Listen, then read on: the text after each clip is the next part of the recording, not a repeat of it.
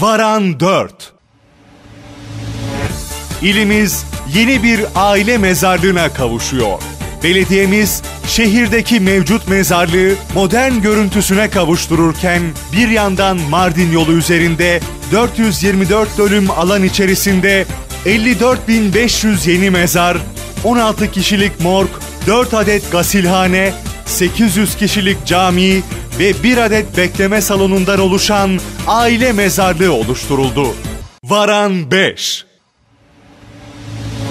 Yeni açılan yollar. Kent Ulaşım Master Planı çerçevesinde 16 yeni yol açıldı.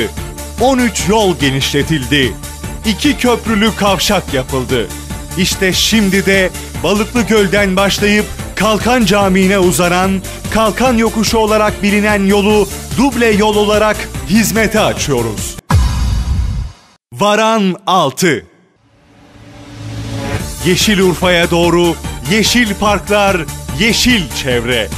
Cumhuriyet tarihinden 2004'e kadar 42 park yapılmışken yaşanabilir bir Urfa sevdasıyla 5 yıllık görev süresinde 122 park ve yeşil alan yapılarak 550 bin metrekare alan oluşturuldu.